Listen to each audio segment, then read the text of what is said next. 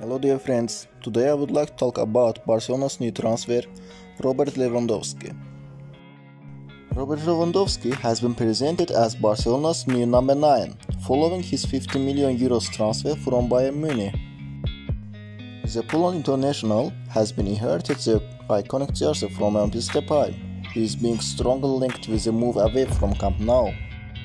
Lewandowski turns 34 years later this month, but dismissed any suggestions that his best year are behind him at his first conference at Barcelona Stadium on Tuesday, having failed to score in his first three appearances for the club in pre-season. He doesn't think he is old. As he says, he feels better than he was 29, and he says that the age is not important.